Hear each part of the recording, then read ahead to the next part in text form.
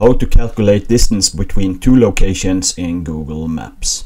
Uh, the first thing I want to show you is how you can calculate the distance in a straight line uh, like the like an airline uh, between two spots in Google Maps. The way to do this is to long hold the street or location you want to measure the distance from. So let's say we want to measure the distance from uh, this street right here.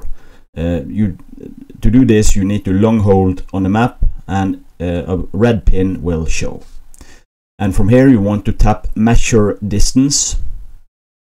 And from here you want to move around on the map until you find the location you want to measure the distance to.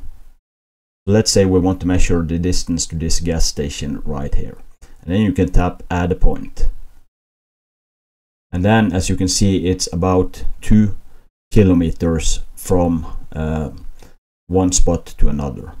And then you can add another uh, distance if you want.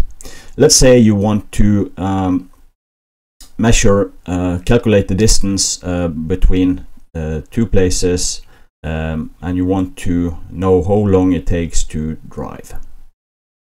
The way to do this is to find uh, the place you want to drive from or you can search for it in the search field. So let's just search for New York.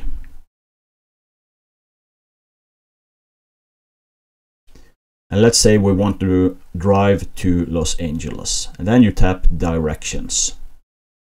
And from here you can change um, the starting point by tapping uh, the two arrows right here. And then you can choose your destination